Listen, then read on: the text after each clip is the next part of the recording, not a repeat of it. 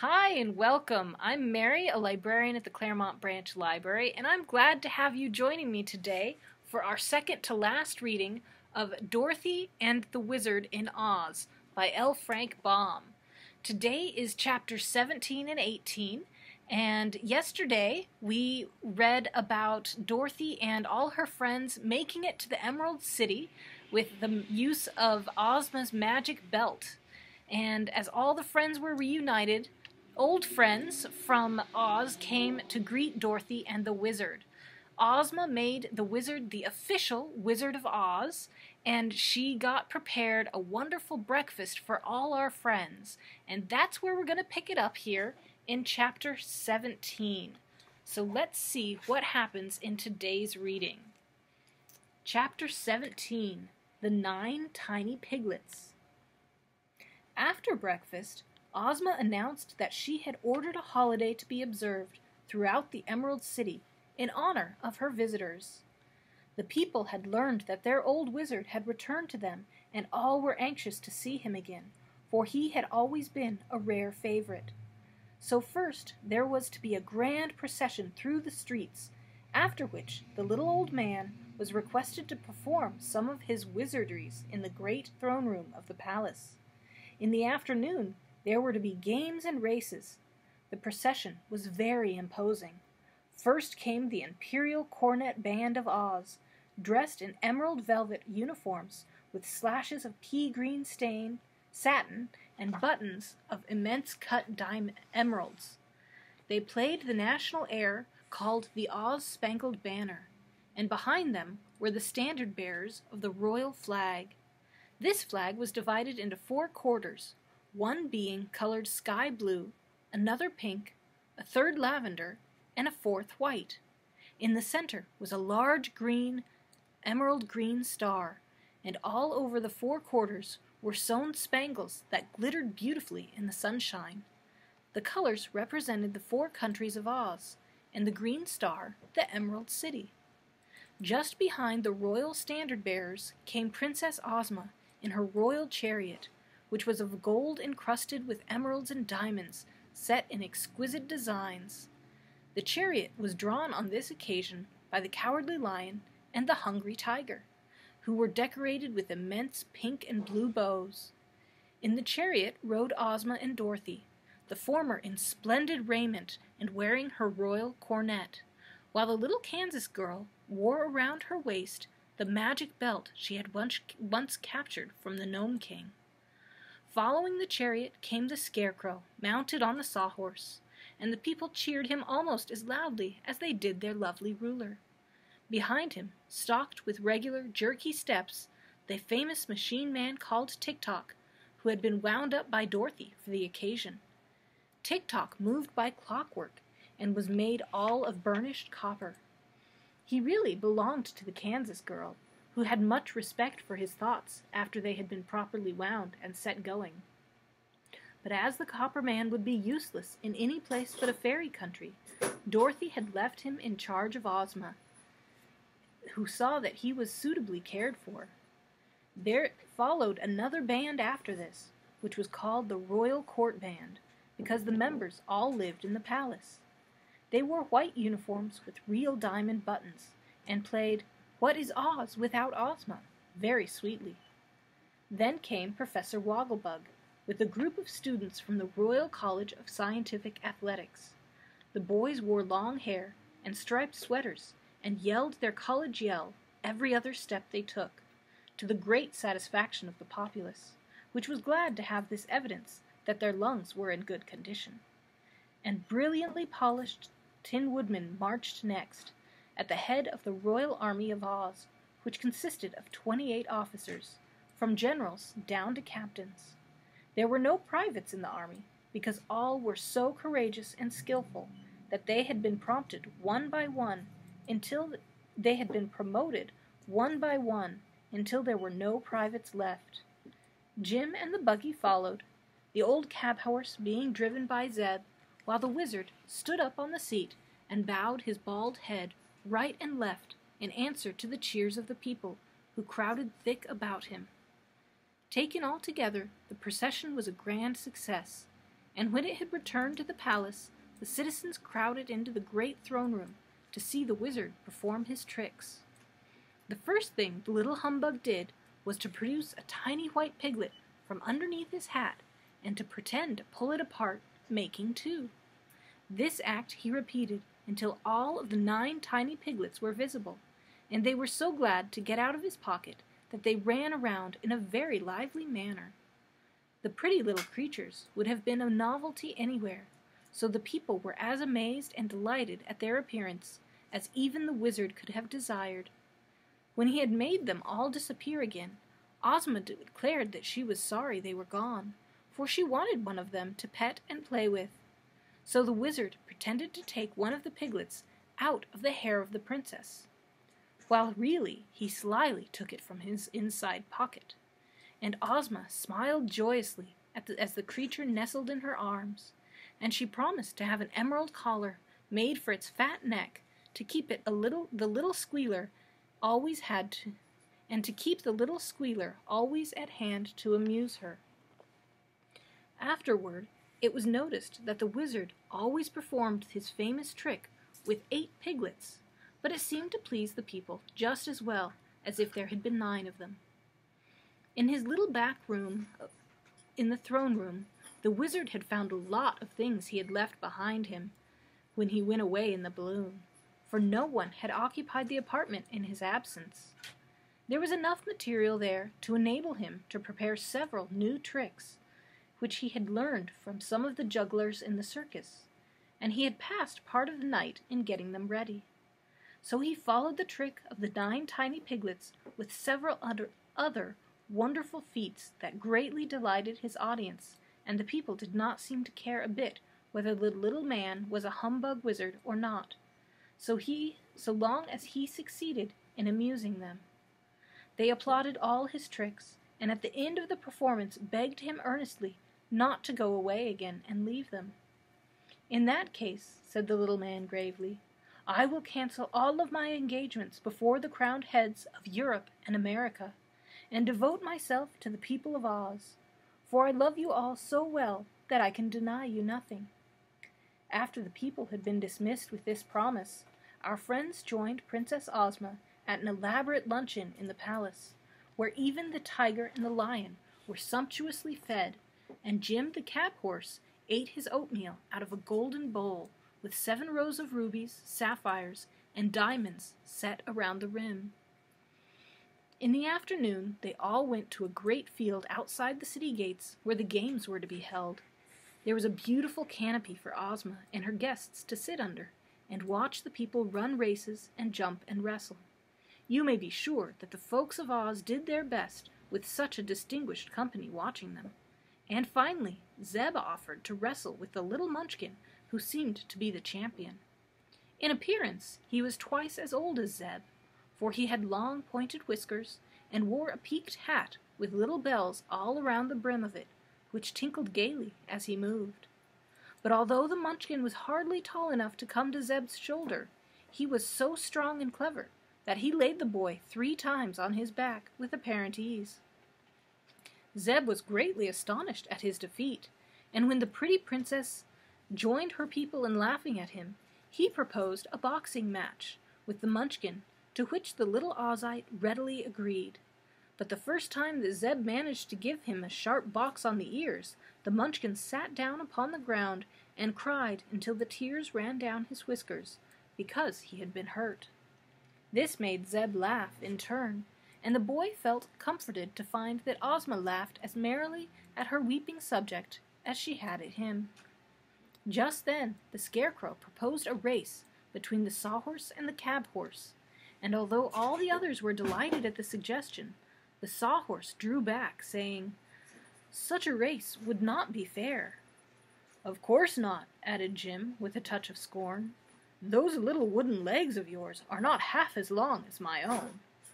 It isn't that, said the horse modestly, but I never tire, and you do. Bah! cried Jim, looking with great disdain at the other. Do you imagine for an instant that such a shabby imitation of a horse as you can run as fast as I? I don't know, I'm sure, replied the sawhorse. That's what we are trying to find out, remarked the Scarecrow.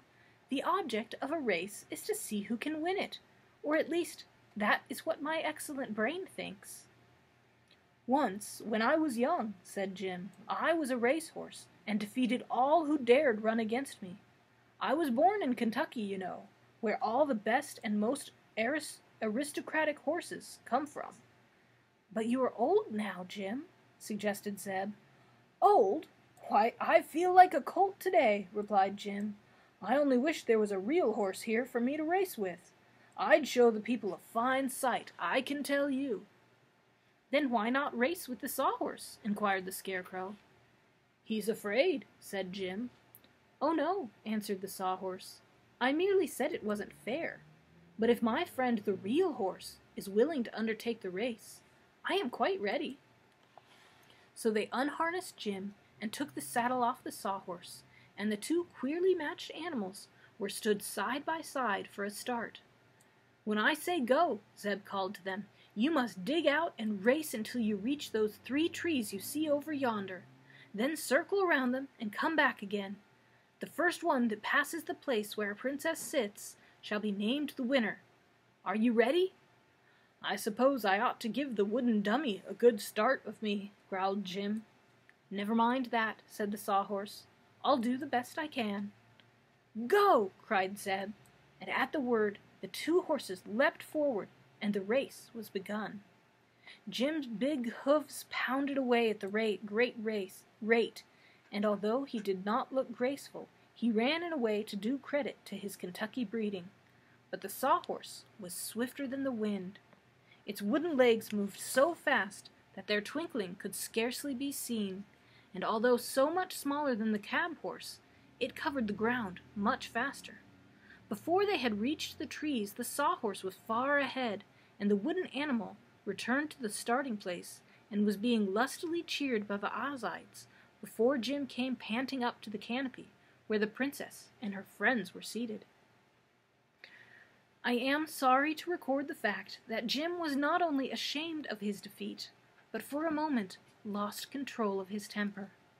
As he looked at the comical face of the sawhorse, he imagined that the creature was laughing at him so, in a fit of unreasonable anger, he turned around and made a vicious kick that sent his rival tumbling head over heels upon the ground and broke off one of its legs and its left ear.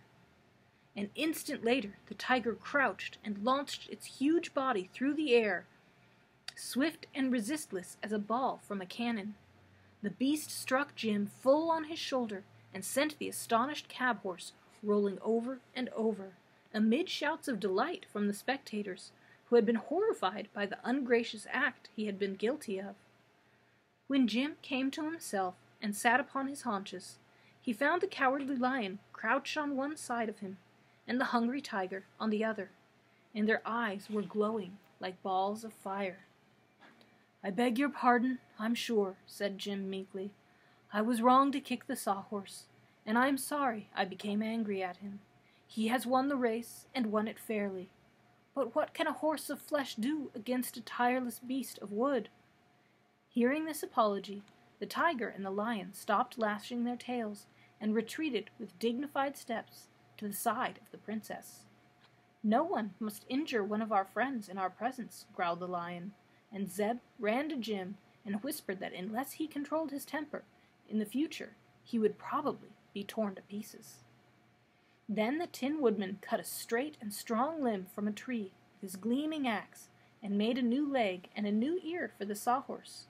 And when they had been securely fastened in place, Princess Ozma took the coronet from her own head and placed it upon the winner of the race. She said, My friend, I reward you for your swiftness by proclaiming you Prince of Horses, whether of wood or of flesh, and hereafter all other horses, in the land of Oz at least, must be considered imitations, and you the real champion of your race. There was more applause at this, and then Ozma had the jeweled saddle replaced upon the sawhorse, and she herself rode the victor back to the city at the head of the grand procession. I ought to be a fairy, grumbled Jim as he slowly drew the buggy home. For to be just an ordinary horse in a fairy country is to be of no account whatsoever. It's no place for us, Zeb. It's lucky we got here, though, said the boy, and Jim thought of the dark cave and agreed with him. Chapter 18 The Trial of Eureka the Kitten. Several days of festivity and merrymaking followed, for such old friends did not often meet, and there was much to be told and talked over between them, and many amusements to be enjoyed in this delightful country. Ozma was happy to have Dorothy beside her, for girls of her own age with whom it was proper for the princess to associate with were very few, and often the youthful ruler of Oz was lonely for lack of companionship. It was the third morning after Dorothy's arrival, and she was sitting with Ozma and their friends in a reception room, talking over old times, when the princess said to her maid, Please, go to my boudoir, Jellia, and get the white piglet I left on the dressing table. I want to play with it. Jellia at once departed on the errand, and she was gone so long that they had almost forgotten the mission, when the green-robed maiden returned with a troubled face. The piglet is not there, your highness, she said. Not there! exclaimed Ozma. Are you sure? I have hunted in every part of the room, the maid replied. Was not the door closed? asked the princess. Yes, your highness, I am sure it was, for when I opened it, Dorothy's white kitten crept out and ran up the stairs. Hearing this, Dorothy and the wizard exchanged startled glances, for they remembered how often Eureka had longed to eat a piglet. The little girl jumped up at once. Come, Ozma, she said anxiously. Let us go ourselves and search for the piglet. So the two went to the dressing room of the princess and searched carefully in every corner and among the vases and baskets and ornaments that stood about the pretty room. But not a trace could they find of the tiny creature that they sought. Dorothy was nearly weeping by this time, while Aunt Ozma was angry and indig- indignant. Indignant. When they returned to the others, the princess said, There is little doubt in my mind that the pretty piglet has been eaten by that horrid kitten, and if that is true, the offender must be punished. I don't believe Eureka would do such a dreadful thing, cried Dorothy, much distressed. Go and get my kitten, please, Jellia, and we'll hear what she has to say about it. The Green Maiden hastened away, but presently returned and said, The kitten will not come. She threatened to scratch my eyes out if I touched her. Where is she? asked Dorothy. Under the bed in your own room, was the reply. So Dorothy ran to her room and found the kitten under the bed. Come here, Eureka, she said. I won't, answered the kitten in a surly voice. Oh, Eureka, why are you so bad? The kitten did not reply. If you don't come to me right away, continued Dorothy, getting provoked, I'll take my magic belt and wish you in the country of the Gurgles. Why do you want me? asked Eureka, disturbed by this threat. You must go to Princess Ozma. She wants to talk to you. All right, returned the kitten, creeping out. I'm not afraid of Ozma, or anyone else. Dorothy carried her in her arms back to where the others sat, in grieved and thoughtful silence. Tell me, Eureka, said the princess gently, did you eat my pretty piglet? I won't answer for such a shoo- foolish question, asserted Eureka with a snarl. Oh, yes, you will, dear, declared, declared Dorothy. The piglet is gone, and you ran out of the room when Jellia opened the door. So if you are innocent, Eureka, you must tell the princess how you came to be in her room, and what has become of the piglet. Who accuses me? asked the kitten defiantly. No one, answered Ozma. Your actions alone accuse you. The fact is that I left my little pet in my dressing room, lying asleep upon the table, and you must have stolen in without my knowing it. When next the door was opened, you ran out and hid yourself, and the piglet was gone. That's none of my business, growled the kitten. Don't be impudent, Eureka, admonished Dorothy. It is you who are impudent, said Eureka, for accusing me of such a crime when you can't prove it except by guessing.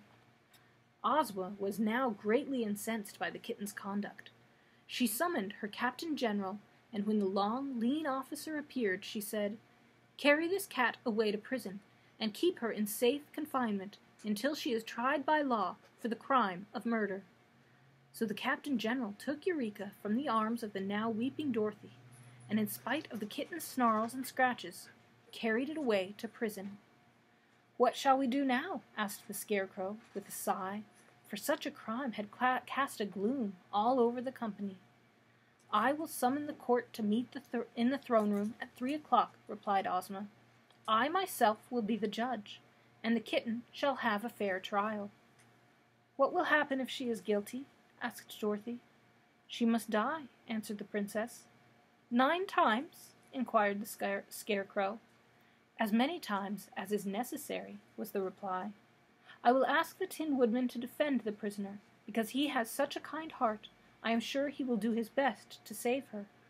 And the Woggle, bug shall be the public accuser, because he is so learned that no one can deceive him. Who will be the jury? asked the Tin Woodman. There ought to be several animals on the jury, said Ozma, because animals understand each other better than we people understand them. So the jury shall consist of the Cowardly Lion, the Hungry Tiger, Jim the Cab Horse, the Yellow Hen, the Sawhorse, the Scarecrow, the Wizard, Tik Tok, and the Machine Man. That makes the nine which the law requires, and all my people shall be admitted to hear the testimony. They now separated to prepare for the sad ceremony, for whenever an appeal is made into law, sorrow is almost certain to follow, even in a fairyland like Oz. But it must be stated that the people of the land were generally so well behaved that there was not a single lawyer amongst them, and it had been years since any ruler had sat in judgment upon an offender of the law, the crime of murder being the most dreadful crime of all. Tremendous excitement prevailed in the Emerald City when the news of Eureka's arrest and trial became known.